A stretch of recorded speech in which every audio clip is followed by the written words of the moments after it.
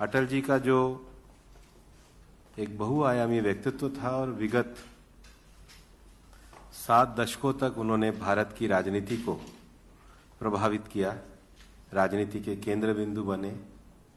अटल जी सबके सर्वप्रिय राजनेता रहे।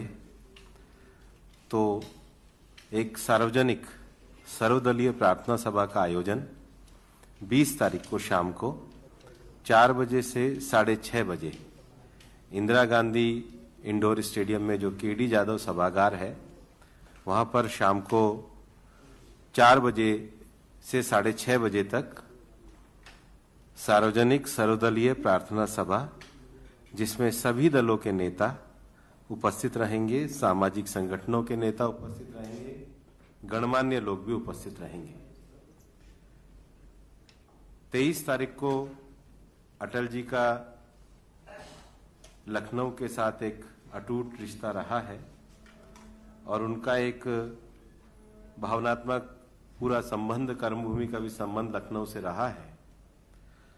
तेईस तारीख को लखनऊ में भी श्रद्धांजलि सभा का आयोजन किया जाएगा।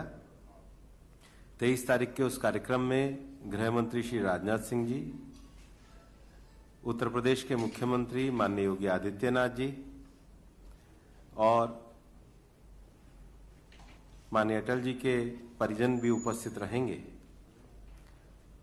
इस अवसर पर उस दिन 23 तारीख को गोमती में भी अस्थि विसर्जन का कार्यक्रम होगा। माननीय अटल जी के परिजन, स्वर्गीय अटल जी के परिजन उस कार्यक्रम में उपस्थित रहेंगे।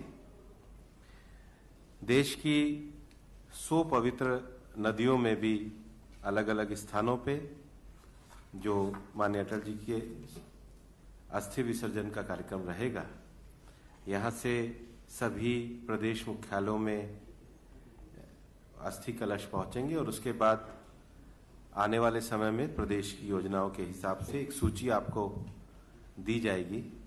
उन सभी प्रमुख नदियों के किनारे स्थित जो शहर हैं, वहाँ पर इस कार्यक्रम का आयोजन होगा। देश की सभी राजधानियों में सार्वदलीय सार्वजनिक सभाओं का आयोजन किया जाएगा।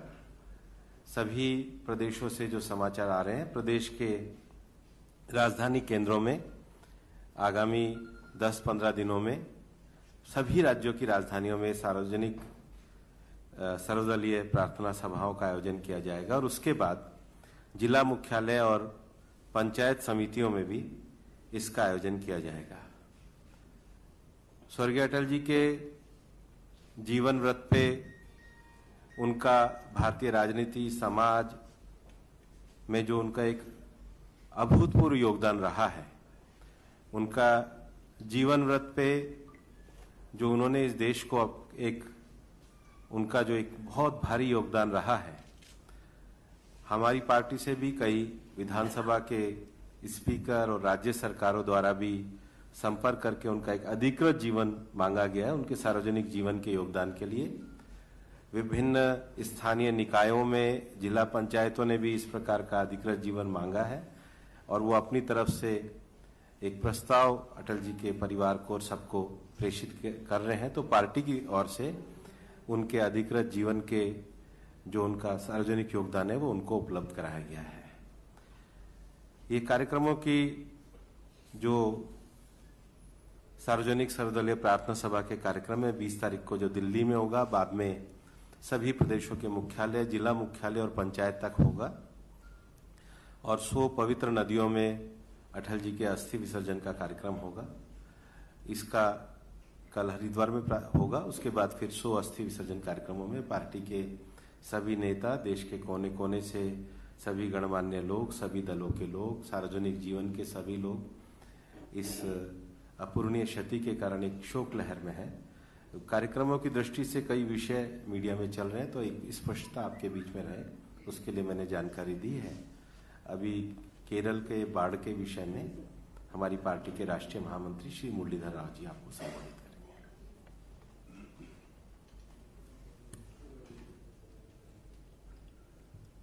Dear media friends,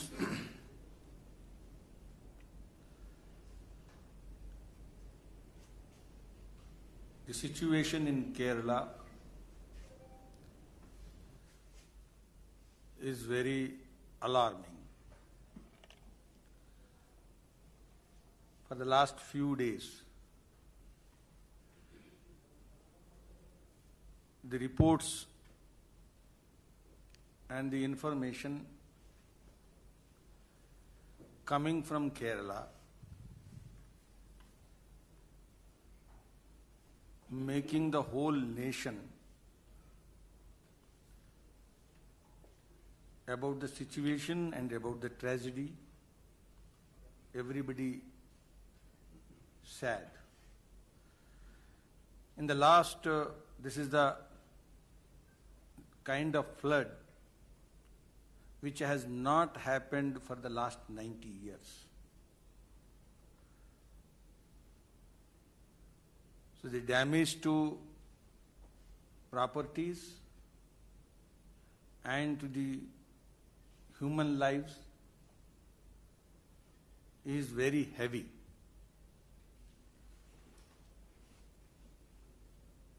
Honorable Home Minister Shri Rajnath Singh ji had visited on 12th August. Now, yesterday night, Honorable Prime Minister Shri Narendra Modi ji has gone to Kerala. Central government under the leadership of Modi ji, first Rajnath ji had declared the assistance of the central government 100 crores now, Honorable Prime Minister has declared another 500 crores. Apart from that, the rescue operations from the army and the allied forces also timely and they have taken all measures which has helped the state administration to a great extent. Honorable Prime Minister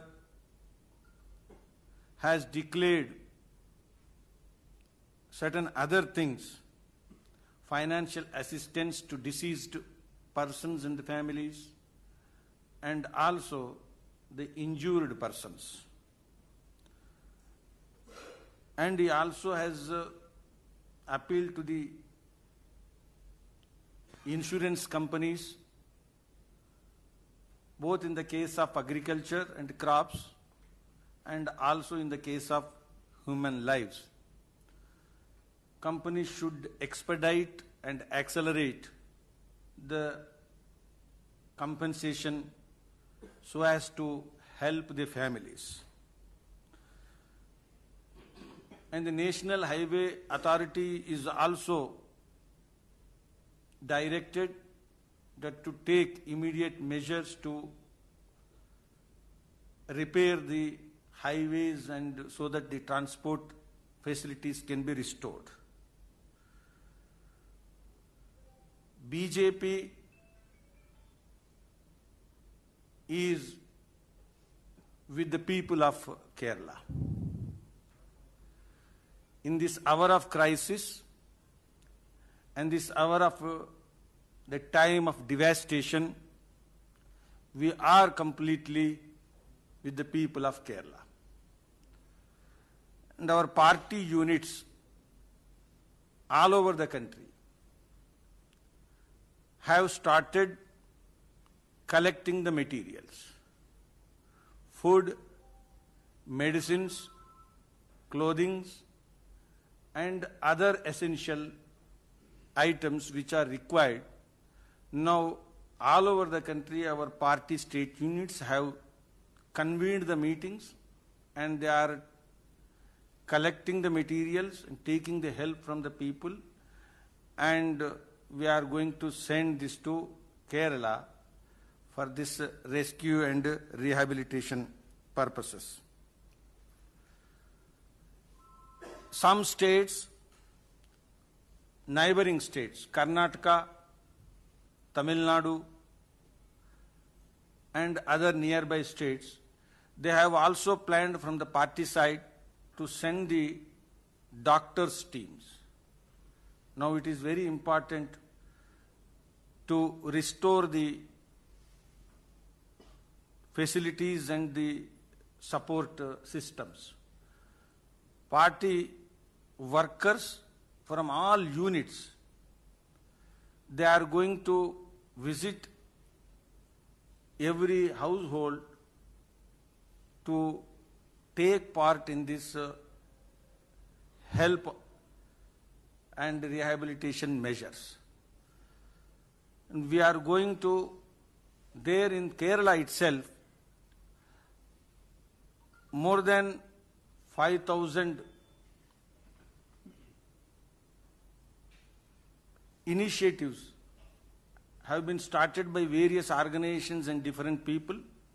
Within that, BJP and also from the like-minded organizations, more than 200 initiatives have already been started. These uh, initiatives will be increased as the floods recede, we will be going and we will be helping.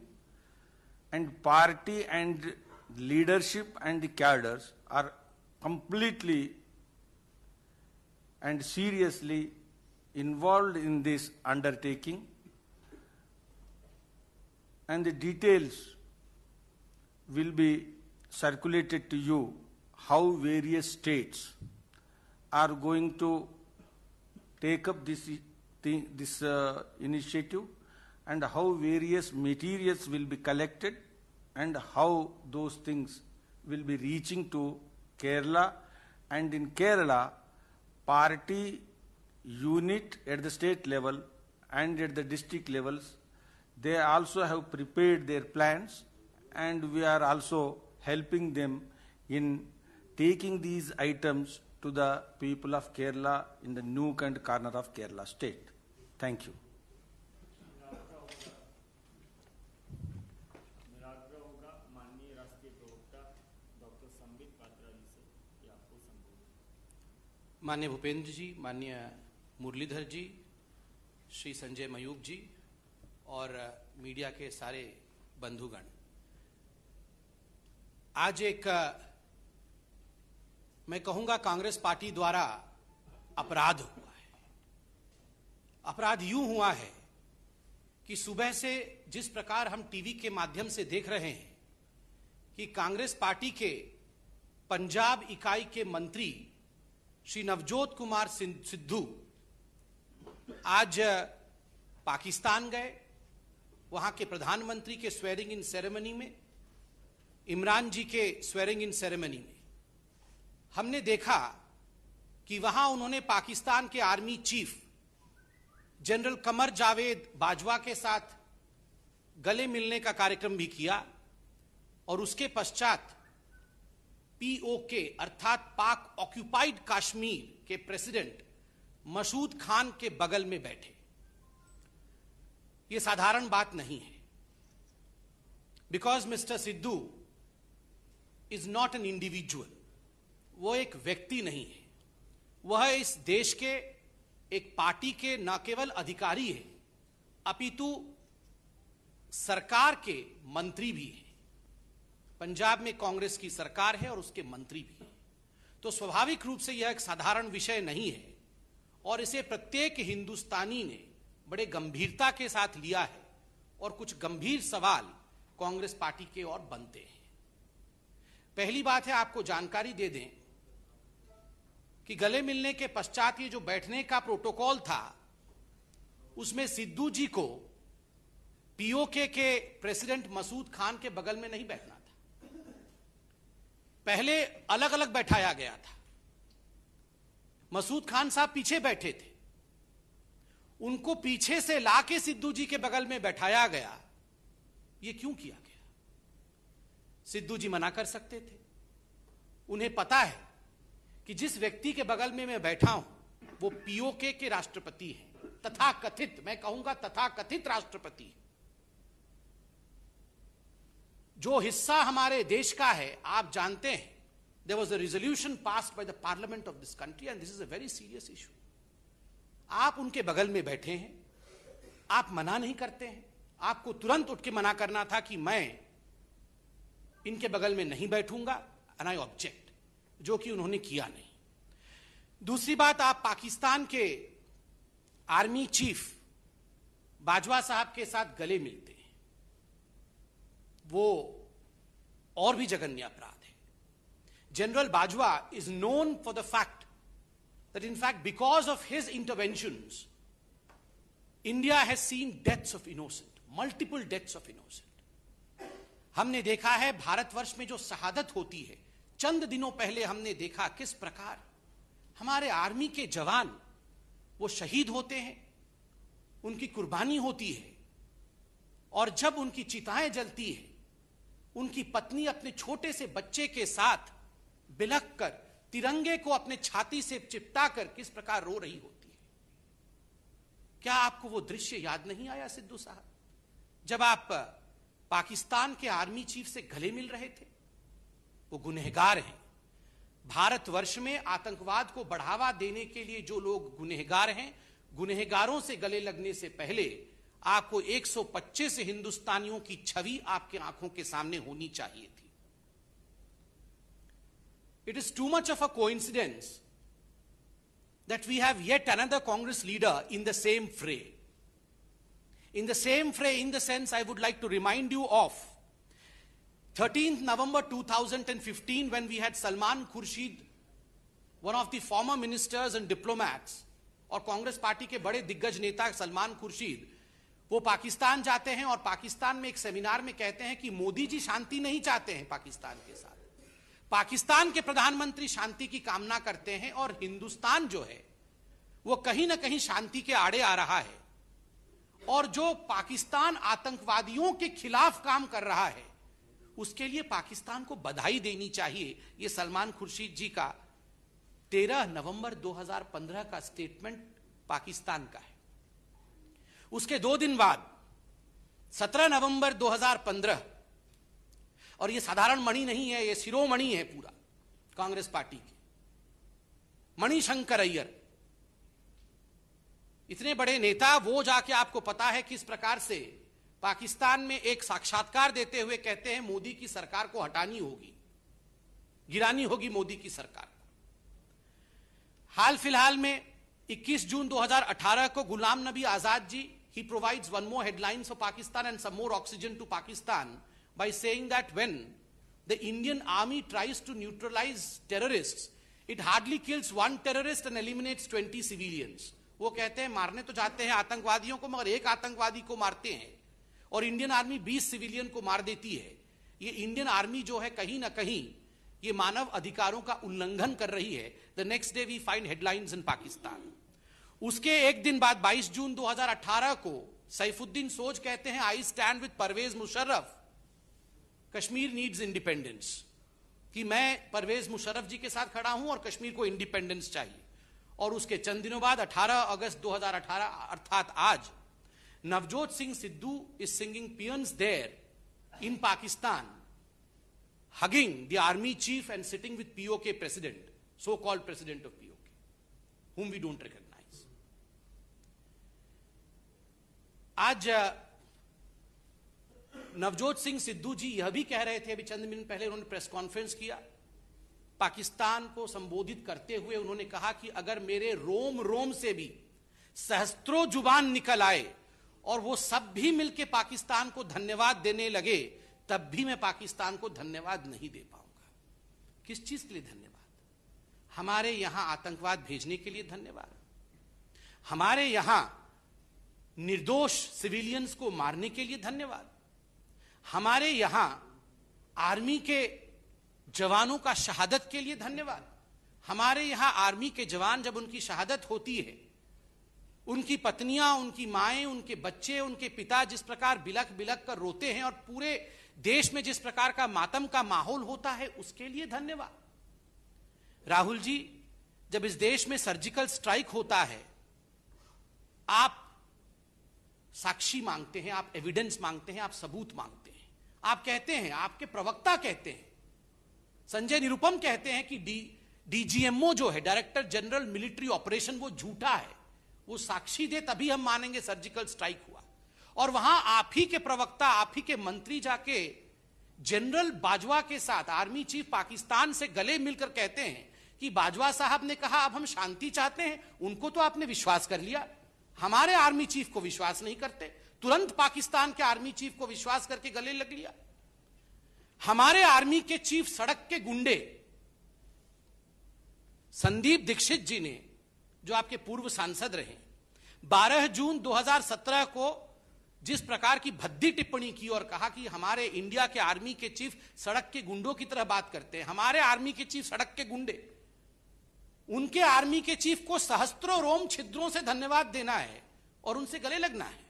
वह रे Congress. BJP, RSS और हिंदू, ये सब आतंकवादी। याद रखिए, BJP और RSS के लिए भी 2013 में उनके अधिवेशन में खड़े होकर हमें जिस प्रकार कोसने का काम तत्कालीन गृह मंत्री सुशील कुमार सिंधे जी ने कि ये टेररिस्ट कैंप चलाते हैं, इस प्रकार की भद्दी बातों का प्रयोग किया था और हिंदू आतंकवाद के शब्द का गठन किया था। हम सबको बाहर है आतंकवादी। और जो आतंकवाद को बढ़ावा देता है, उससे गले लगना। कमाल की कांग्रेस पार्टी है।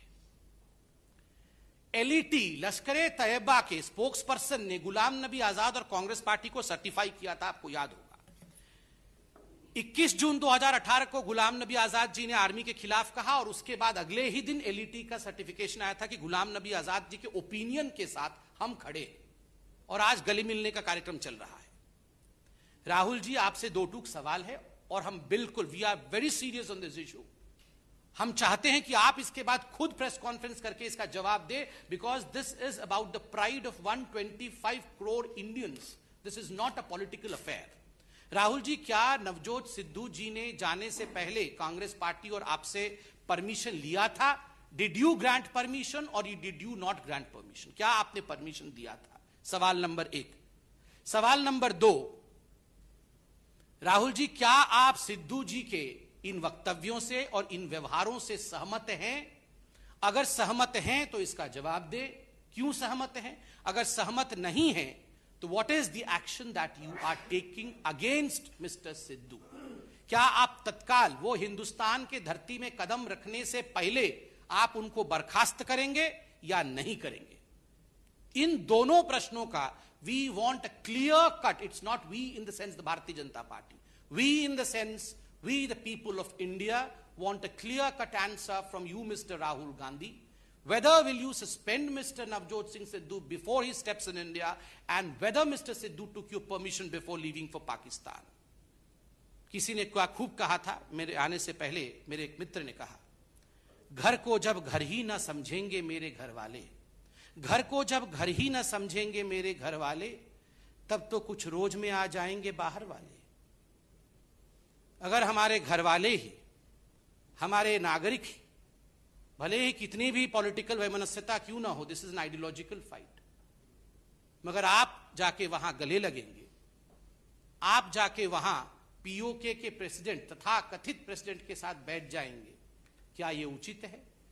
ये 125 करोड़ भारतीय जनता, पार्टी उसके बाद आती है। भारतीय जनता पहले आती है। भारतीय जनता राहुल गांधी से पूछ रही है। धन्यवाद। शायद इस पर प्रश्न नहीं होगा।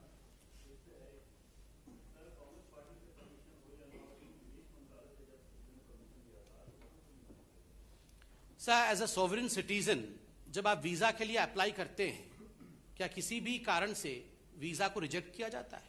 आप कहते हैं आप वहाँ मित्रवत जा रहे हैं मगर गले लगना यह तो आपके विवेक पे था। किसके बगल में बैठ रहे हैं ऑब्जेक्शन रेज करना यह तो आपके विवेक पे था।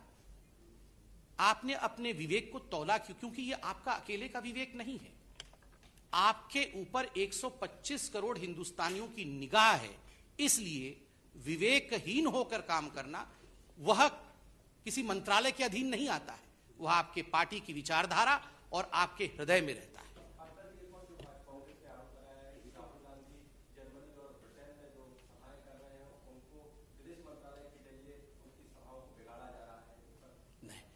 वो अभी चार दिन पहले हमने देखा कि तालकटोरा स्टेडियम में राहुल जी भाषण कर रहे थे। उसी समय उनके माइक्रोफोन का, माइक का अर्थात शॉर्ट सर्किट हो गया। पहला सेंटेंस राहुल जी के मुख से क्या निकला? अमित शाह ने माइक बंद करा दी। ये राहुल जी की समझ है। शॉर्ट सर्किट होके माइक बंद हो जाता है तो उसमें भी उनको अमित शाह जी की हाथ और अमित शाह जी नज़र आते हैं। कहीं ना कहीं ये राजनीतिक हताशा है परफॉर्म नहीं कर पाने के लिए। It is the frustration of non performance अपने ऊपर विश्वास नहीं।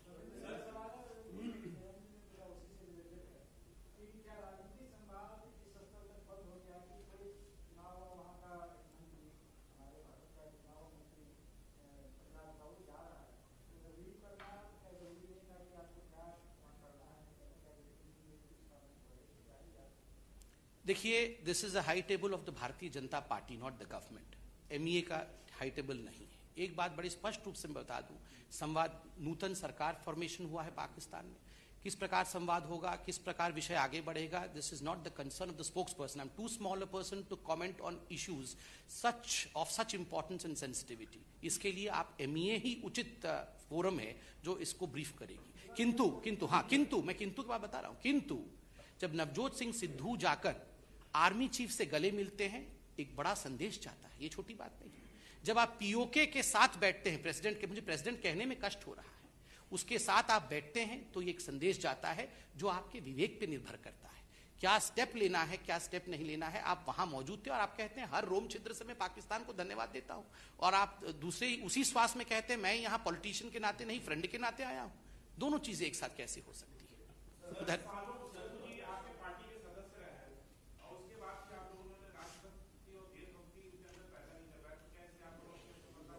आप देखिए, व्यवहार तो जब हमारे यहाँ जो भी व्यक्ति रहता है, आप हमेशा देखिए, मैंने आपको एक फहरिस्त गिनवाई, मनीशंकर अय्यर से लेके, सलमान खुर्शीद से लेके गुलाम नबी आज़ाद से लेके, सैफुद्दीन सोज से लेके, सबकी आपको पूरा एक फहरिस्त गिनवाई। आप बताइए, हमारे यहाँ से कभी किसी ने पाकिस्तान को ऑक्सीजन दिया है? सीना ठोक के हम में से हर कोई कह सकता है कि हम में से किसी ने भी भारत के खिलाफ तनिक भर भी नहीं बोला है या कभी बोलेगा नहीं।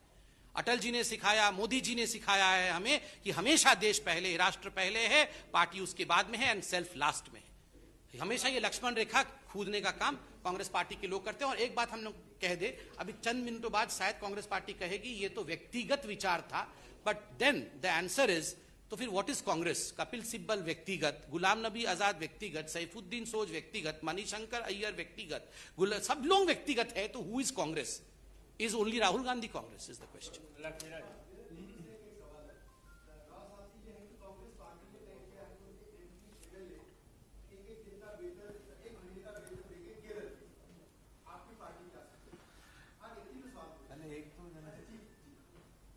Yes, uh, regarding the various uh, initiatives which I already stated, state party our legislators and even the government, state governments led by BJP, all these are going to undertake different uh, initiatives. Now, you all know, 12th uh, Honorable Home Minister had visited Kerala and uh, Atalji's health was uh, not good and Honorable Prime Minister was here and immediately after yesterday's funeral, he went to Kerala. Now the party state units are having serious internal planning sessions and by evening we will circulate all details. But definitely party, as I stated already, entire party, BJP, all over the country, is with in this hour of tragedy, in this hour of devastation and the worst ever crisis. We are with the people of Kerala. They should not feel alone in this. So this uh, is the statement which I have given. All details we will circulate.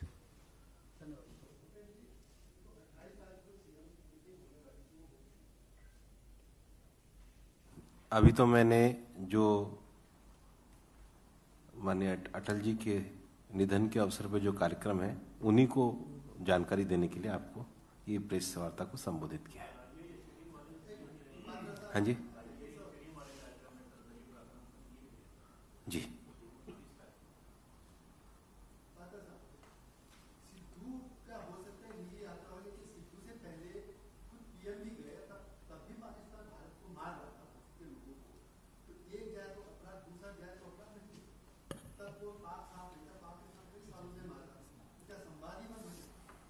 इस संवाद का क्या होना चाहिए उसका उत्तर मैंने दिया है।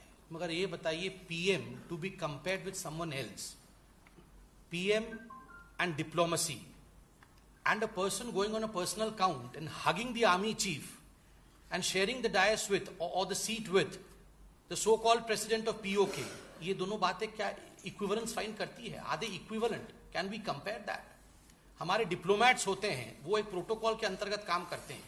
और कोई व्यक्ति जाके व्यक्तिगत रूप से जाते हैं और गले मिलते हैं वहाँ पर जाके जिन लोगों से शायद नहीं मिलना चाहिए वे मैं विवेक पे छोड़ता हूँ। जनता सवाल पूछती है तो क्या प्राइम मिनिस्टर इनको इक्वल किया करके देखा जा सकता है? दिया।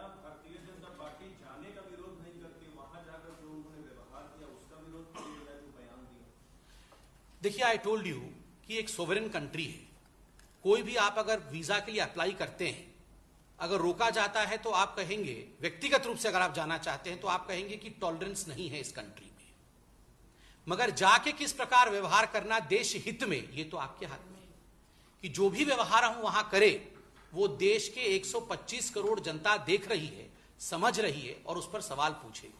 आप में से कोई भी, हम में से, हम और आप बंधु हैं, हम में से कोई भी एक दूसरे से पूछे कि क्या आर्मी चीफ को जिस प्रकार गले लगाया गया उसका संदेश ठीक जाता है। क्या पीओके के तथाकथित राष्ट्रपति के साथ बैठकर एक जगह अपना मंच अपना स्थान साझा करना उचित है? क्या संदेश जाता है पूरे विश्व में? और जिस प्रकार का धन्यवाद प्रस्ताव पाकिस्तान को दिया गया है वह भी हमने देखा थैंक यू बहुत बहुत धन्यवाद।